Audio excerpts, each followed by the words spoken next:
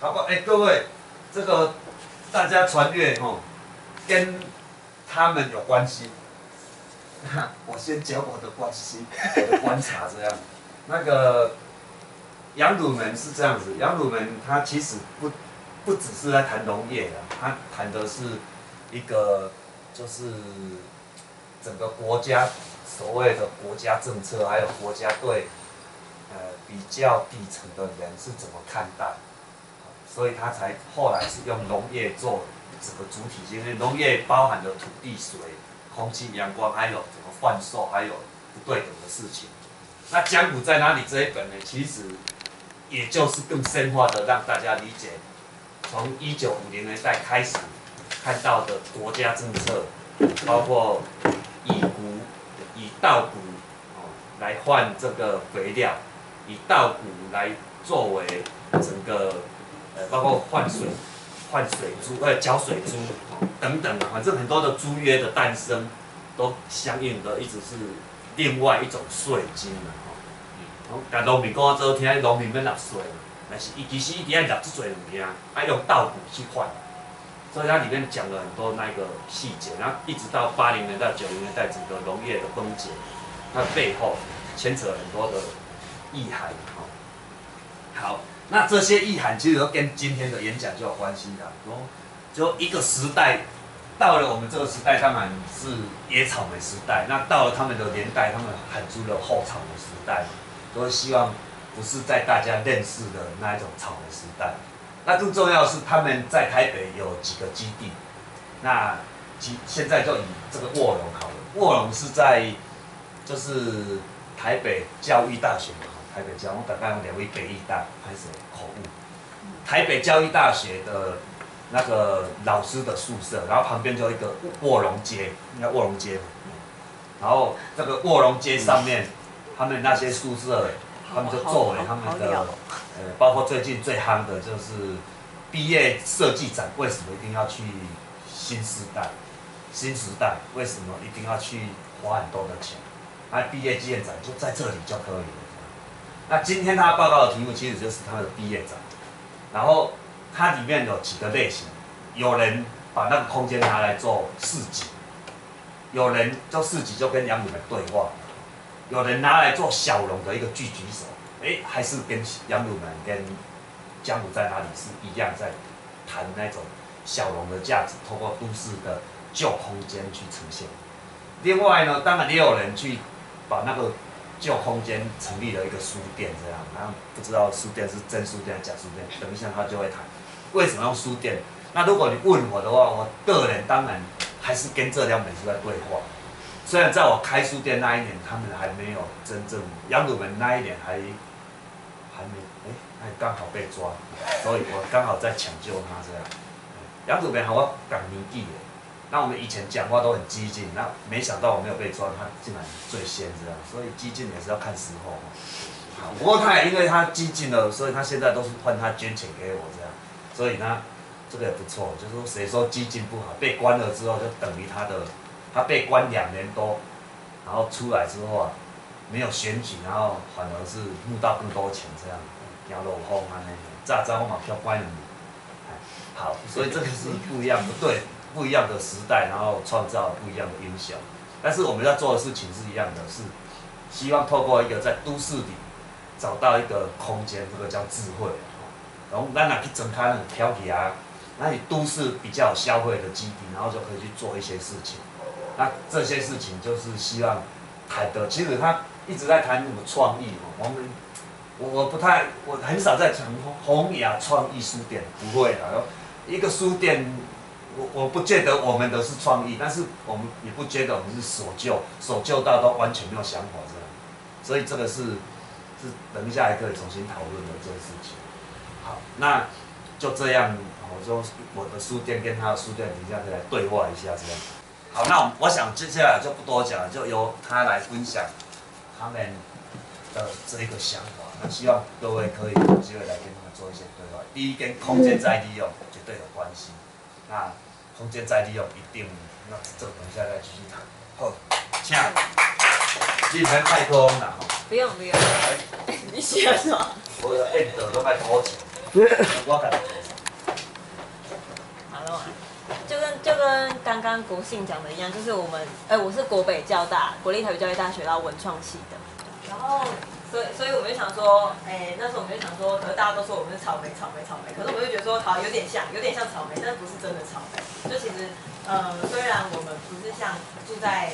部落里面或是乡水里面有很多机会，就是有很多怎么怎么讲，很容易就看到自己的根。可是其实，在城市里面，我们也有办法去做一些我们觉得应该要做的事情。所以我们那时候就觉得说，好，我们是后草莓，然后我们想要翻转这些城市里面的一些事情。然后刚好我们呃，因为我们学校是日治时期就已经有跑出来的学校，然后所以呃有很多老宿舍区，可是都没有在利用嘛，就是之后都废弃，然后都盖了一些新大楼，然后新的美术馆这样，然后反而是呃这这区废弃的就没有人在使用。然后后来在二零一一年的时候，我们老师就带我们进去，因为我们老师是建筑系的，然后老师就开带我们开始整修这个空间，然后之后就会会带带大家看一些我们在里面发生的事情。然后这就是今天大家要讲三个，就是会介绍卧龙创意基地，然后跟文创系在做什么，然后跟我们的毕业制作。然后我们一开始就在想说，好，我们是教育大学啊，然后教育大学就是虽然我说文创系不是一个师资培育系，就不一定要修教程，可是我们总觉得说，如果我们这四年会遇到很多未来即将要当老师的人的话，我们应该要开始在学校里面做一些事情，让他们知道说这个世界不是那么理所当然，对吧、然后文创系也不应该只是像一开始我们进入这个系所说，老师说就是你就学好设计，然后学好包装，把一个东西弄得漂漂亮亮的，然后赚钱就好了。就是他会觉得文创就是一个很好很好的生意，可是我们觉得说不应该是这样。然后，所以我们就在二二零一一年的时候，就从卧龙，这个是我们的基地，就是大概这个地方就是校舍，就是学学校综合大楼啊，然后美术馆之类的地方，然后左边就是废弃的地方。然后我们是从卧龙二九跟二四开始，然后呃，其实，在我们要决定毕业展览的场地之前，很多人都叫我们说应该要去松烟文创园区或者华山文创园区，然后或是我们学校的校长是直接跟我们讲说，请你们去新一代展展完才算毕业。可是，可是我们那时候就觉得说，为什么？我们班上当然也会有些同学会觉得很愿意，他觉得说没关系啊，就花个几一个人花个几万块，我们在那边我们会很多人看见。可是那时候我们就会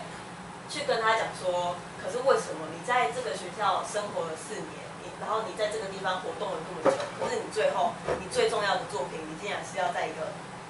大家会有很多掌声的地方，可是你却有很陌生的地方做，所以最后班上就是有讨论，然后也有吵架啦，然后到最后还是决定就是在这里做，就是我们称卧龙创意基地。它总共分呃卧龙二四，然后卧龙二九，然后左在左边那栋是粉红卧龙，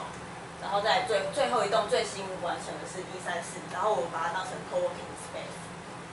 然后再讲就是共同工作室，然后会有工作室进驻这样，然后就是嗯，然后这第一个是卧龙二九的外观，还还是红的，是掌声呢。还有红红砖、红砖然后黑瓦的地方。然后呃，卧龙从民国大概六十年代的时候是教职员宿舍，就住着很多教职员。然后之后开始一直到近代的时候，呃，有一些北北啊或是奶奶就开始可能会就是有过世的，然后也有搬离开的。所以这个地方原本是一个聚落，可是开始变有一些空缺，就有一些废弃的房子。然后可是像呃我们这边是卧龙二四，然后这边是二九。然后这边就是还有人住，就是一个爷爷。然后下一张，对，就是一些比较接，这就是从那个外门进入庭院的地方。然后一开始原本都是石子的地板，然后第一次二零一一年夏天，我们就办了一个建筑礼，就是我们老师跟老师的助理啊，就带我们稍微整修了这个地板的地方。这这又是比较近期拍的，所以就又有点坏掉。然后像左边那边是进去就是二九，二九就是主要是呃上课，然后放电影，然后就是一个客厅的感觉。然后右边的话，卧龙二四就是艺廊。好，然后这是一些样样子，大家看一下。然后二四的话，主要就是会做一些这个，因为我们学校有艺术设计系，所以他们通常都会来说，哎，可不可以借这个地方？然后或是像外面的外面的研究生之类，也会找这个地方当做他们第一个展览啊展览的场地。就是他们我们会觉得说，卧龙这个地方跟别别的地方不一样，就是它会允许让人家在这边实验，实验很多种可能，就是即使你是很新，即使你没有那么有名，但是你可以在这个地方发表你的想法。对，然后我们也在这边办过书展，就是做一些性别的议题。然后那时候有有一些挑战，是有可能会就是里面放很多呃可能同同志的书籍，对，然后他们就会走进来就说为什么要放这种书，然后就会走，然后就说我真的不敢相信，什么什么之类，然后就走出去。可是我们那时候也会有也会想要跟他解释，可他也是不听就走了。呃，对，然后我们那时候就觉得说没关系，还是就是还是继续做，然后之后也办再办过几次类似。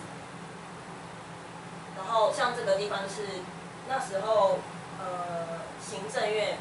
三二三行政院那时候打人嘛，然后那时候我们就觉得说不行，因为三一八开始我们就其实说想说卧龙二九应该要做一些事情，就身为在学校里的一个基地，我们应该有一些呃资讯需要传递，然后有些事情要告诉大家，然后一直到三二三时候就说哦这样不行，怎么可以开始打人？然后我们就开始邀请一系列的老师来帮我们演讲，就是这个老师是社会学。他在讲说，呃，他在讲汉娜二兰，就在讲说，呃，青岛公路上的那个暴力事件，其实背后隐藏了很多事情。然后大概有办了非常国庆有一场，国庆第第一场三二五的时候，然后讲一些社会学，然后讲居住正义的事情。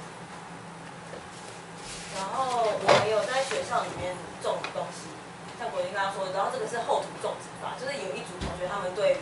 呃如何在城市中耕种自己的菜。有特别的兴趣，所以然后就会有一些老师跟同学一起来参加。然后那时候种这个事情的时候，也有去跟学校申请，就说，哎，跟总务申请说这块地可以可不可以给我们种东西？然后学校也说不行，他说不可以种。然后，然后，然后，太惨了。然后，然后，可是后来因为很多事情，像我们经营书店或者是种菜，学校都会说不行，不行，不行，因为有盈利，然后因为有长出东西，就可能他们会觉得说这是违法，可是我们还是会继续，就是还是继续做。然后我们就开始，因为我们觉得说学校应该要跟社区连接，就是不应该跟社区脱轨，所以我们就开始做了一系列活动。第一个是从吃的东西开始，然后就有办一个共食堂。共食堂，然后还有一个料理教室，就是邀请大家每周三，然后每周几，然后一起来吃饭，然后一起来吃饭。对，然后也有在呃后院的地方盖一个小菜厅。然后这是料理教室的地方，就是会邀请社区妈妈来。然后过年，因为卧龙那区像我刚刚说的，是住着很多爷爷跟奶奶，然后很多都是独居老人。所以我们在每年过年过节的时候，或三五时，如果有做吃的东西的话，都会送去给他们，然后顺便看看说他们身体还好不好啊这样。然后还有一些就是会比较吸引学生的活动，因为还是希望卧龙这块地方不只是文创系学生在用，而是说他可以透过一些活动，然后找到他的归属感。所以有办一些像放电，就是叫蚊香戏院，因为卧龙蚊子很多，就叫蚊香戏院。然后我们每两个月就会有一次的主题月，然后第一个第一个主主题就是革命精神，就是我们那时候一直在定位说，那卧龙到底是一个怎样的场地？然后所以我们那时候革命精神就有办了系列影展，然后有找了呃一些团体来演讲，像是建筑方面的革命，就是他不可他是不收钱在做建筑，可是他有自己的营运的方式，然后我们就觉得说那那是一种突破，然后有邀请呃像同同事的议题，然后还有一些其他的议题。然后第二个主题是在讨论说什么是失败者，其实跟草莓有点像，就在讨论说我们一直被讲说你们这样子是失败的，你们这样子是草莓，可是那些人都是已经上一代或上上代的人，我们应该要重新呃去定义自己，就是什么办什么是成功，然后什么是失败。然后最然后最近一个就是，就是有邀请国信啊，邀请农村武装青年来学校。因为我们觉得说到后来就是快毕业的时候，会真的发现到说，无论做什么事情，还是要回归到说自己的根，然后跟这块土地，要对这块土地有帮助的事情，才应该去做。然后这就是刚刚在讲的罢课不罢学的活动，就是有成为一个串联的基地。然后最后这些东西会呃，就是有一组同学，然后把它编辑成刊物。然后我们称为转刊，因为这区都是红砖老建筑，所以它是记录这区所发生的事情，所以叫做转刊。然后，嗯，刚刚是这边是卧龙二九，然后从卧龙二九这样望出去的时候，就会有一条巷子，然后巷子走到旁边的话，就是我们刚刚讲的一三四级。对，然后然后一三四像刚刚的共同实验室的话，是我们最新的一个基地，然后主要是作为我们这一届大师的毕业展呃毕业展览的场地，然后我们全班总共有十组，然后有不同主题，因为文创它其实没有一个特别一定要做什么事情，所以我们就老师就让我们自由发展，说如果你觉得什么事情是重要的，就去做。所以像有些是做空间改造，然后有些是做旅游，然后有些做社区，然后我们这一组是做书店。然后这是呃这个空间后面的样子，就是它是没有屋顶，屋顶被吹落，大概看一下。然后那是改造，我就从上面看下去，它是后面有一区是没有屋顶的。然后后来空间改造的主编就在上面架起空中走廊。然后这个是改造，这是改造过一个阶段的样子，就是有粉刷过，有清除过，然后后来现在是变成咖啡咖啡的摊子。然后左边也是，就左边下一边座位区，因为这个地方其实算是呃一三是它的客厅，然后这个客厅主要就是希望说让大家可以停留然后休息，因为前廊是书店，所以中间客变客厅这样，然后这也是改造过后的样子，然后然后就换到书店，这是我们书店入口的样子，然后我们都会我们有个黑板的门，然后我们都会邀请诗人自己来写诗，或者我们看到不错的诗，我们会抄上去。然后我记得记得有一次有写一首诗，然后他的他的标题是他妈的跨年又来了。然后那时候学校就会发现，突然大家原本都没有声音，学校周围没有声音，然后我们做这件事情的时候，学学生也还好。可是只要脏话一出来，大家就会觉得说，教育大学学生是不可以这样。然后我就，然后因为那时候我们就有问，我们就说，那你觉得怎么了嘛？他就说，怎么可以讲脏话？就是怎么可以？你们不应该这样子啊！师范体系学生应该怎样。